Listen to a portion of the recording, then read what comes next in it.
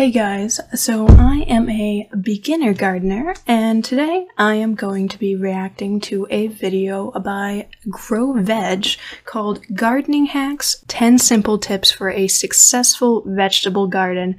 Now I am actually really excited to react to this particular YouTuber because I have seen a few of his other videos and he just has so much enthusiasm. It's it's just so vibrant and lovely. So here we go.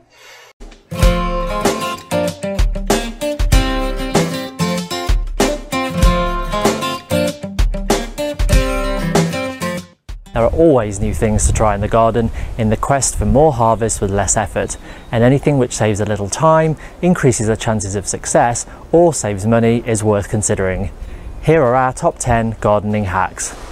Wow, I guess I've never seen um, one of his old videos before. He looks so different. I'm assuming this is the same person. Turn a long handled tool into a measuring stick. Lay the tool on the ground and place a tape measure next to it. Using a permanent marker, write measurement marks onto the handle. When you need to space plants a certain distance apart, you'll already have a measuring device in your hand. Rejuvenate old plastic labels by rubbing with sandpaper permanent marker will be rubbed away quite easily and you'll get several years of use out of them. Or make your own labels. Used clean yogurt pots can be cut into strips to make several labels from one pot.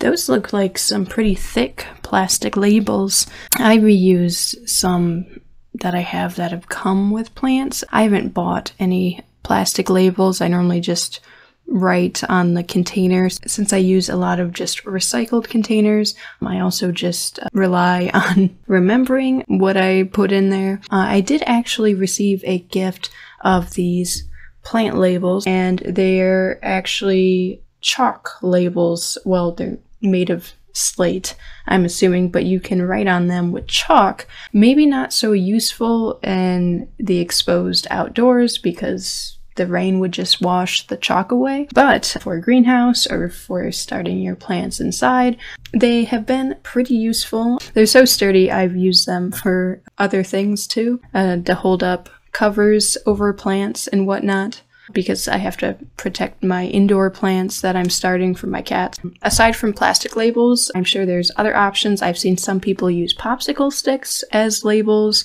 I've never really dived deep into the label world of gardening, but I'm sure there are plenty of other alternatives to plastic, or you can use his tip right here if you already have plastic labels lying around. He uses yogurt containers to make labels, and I use yogurt containers just as pots a lot of the time. But I suppose they look very useful as labels too. Or, for a more natural look, smooth flat stones of various sizes can be written on with paint or permanent marker, and can be placed unobtrusively at the base of your plants and reused each year. I suppose, yes, the most natural and cheapest option is just picking up a uh, light colored stone and writing on it. And that could actually look pretty cool if you have some stones of a few different colors and you have those dispersed throughout your garden. If you're all out of cloches and there's an unexpected frost forecast, use a terracotta pot instead.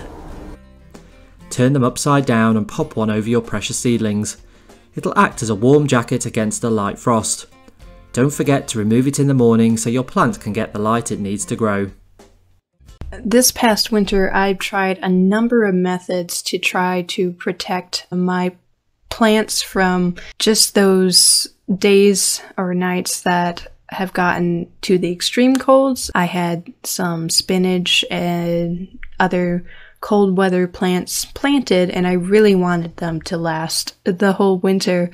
So I tried various methods to some success rates to keep those plants alive. Probably the most successful, aside from nature providing snow as a cover for the spinach, that's really useful if it snows right before it gets super cold. The spinach seems to just love that and be really protected under the snow. I've piled leaves on top of plants. I did try using like cutouts from plastic milk jugs the bottoms of plastic milk jugs. I tried putting over the plants and then covering them with a blanket or shower curtain and piling leaves on top. This was when there was one just extreme week. It was negative 30, which was very odd. So I really wanted to protect them because it was such a big dip in temperature and I knew even spinach it would be very unlikely to survive that. But I found I don't know, maybe it provided too much airspace putting the plastic jug on top of it, but the ones where I actually I ran out of plastic jugs and I just covered with a blanket or a shower curtain and then put the leaves on top of it and there was also a little bit of snow accumulation too, but not too much.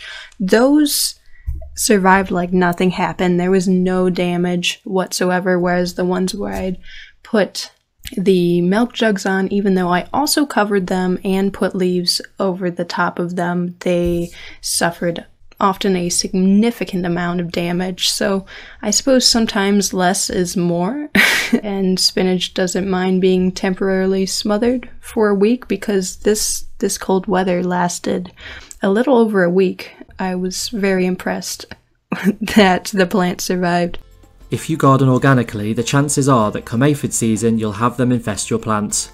Many gardeners tackle this by squishing them with their fingers. It's a messy job. You could try blasting them off. I don't think I could bring myself to pick off aphids and just squish them with my fingers. I even as a kid, I remember my dad had a garden, but he never had enough time to maintain it. Anyway, the tomato plants would always get tomato worms all over them. So me and my siblings would go and kind of pick them off. Though I didn't like to use my hands, I'd kind of use a stick to get them off the plant and then we would squish them. And as I got older, it, it got even harder. I felt bad. If you live in a hot area or have a particularly sunny spot in your garden, you might find that thirsty plants like cucumbers and tomatoes dry out quickly without irrigation, reducing the crop or quality. Side note, last year, I don't know it, if it was my area since it was the first time I had gardened really as an adult, or if it was because I planted some herbs around the tomato plants. I planted basil and parsley around the tomato plants. Not a single tomato worm. Nothing. Nothing ate the tomato plants at all. And the tomatoes were amazing. Make water reservoirs out of plastic water bottles to keep your plants healthy. Drill a few small holes into the cap to allow water to percolate out. Cut the bottom off the bottle.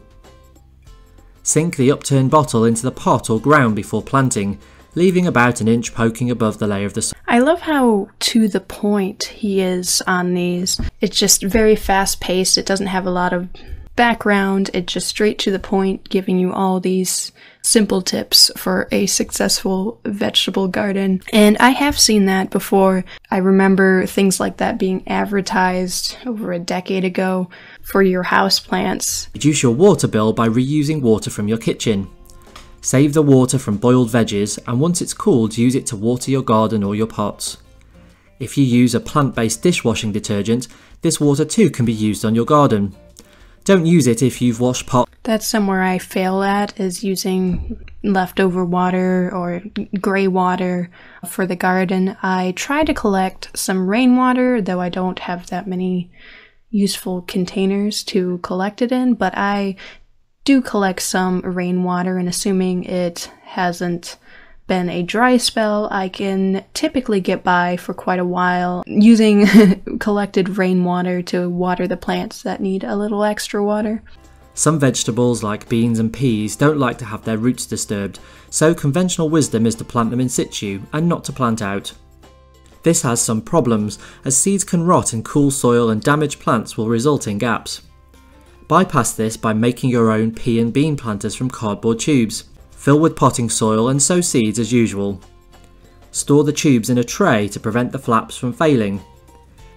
When ready for planting out, plant the seedling and tube as one.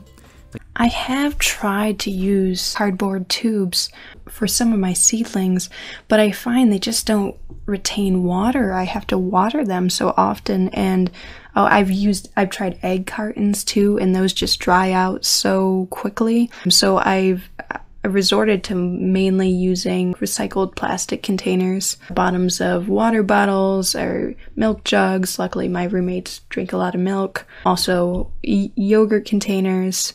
I have successfully planted out some pole beans that I grew in containers. They did all right. The only thing is, I wasn't successful with the bush beans I planted out. They weren't quite as strong on the stem, I suppose, because I have a problem with cutworms in my garden, and so once I planted them, the worms just chewed the stems right off. So it was a little disheartening. I was able to get past that with some plants I planted out later by wrapping packing paper around the stem to protect it. Use garden planning software to help plan what you're going to grow and where. Good planning reduces the risk of losing plants by sowing at the wrong time, spacing them incorrectly, or forgetting to rotate crops to reduce the likelihood of soil borne pests and diseases from one year to the next. It will also help you to plan succession planting so you can quickly see where gaps will appear and have plants ready to fill those gaps. Make that looks adorable. This software, it's got little tomatoes. Um, I tried, not with software, any software in particular, but I had designed some graphs of my garden when I first started it, and I believe I used PowerPoint and just put little circles, or if I could find little clip arts of tomatoes in different sections, and it just it looks adorable and it gets you really excited. I haven't done that recently. Now that I've kind of gotten the hang of where everything's going. Making sure you get as much food as possible from your space.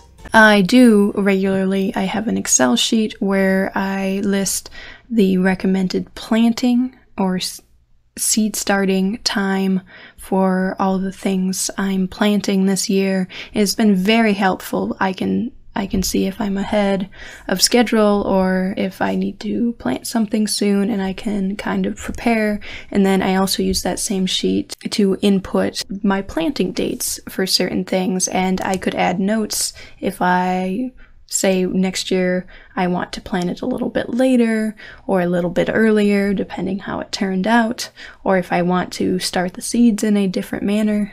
What's your top gardening hack?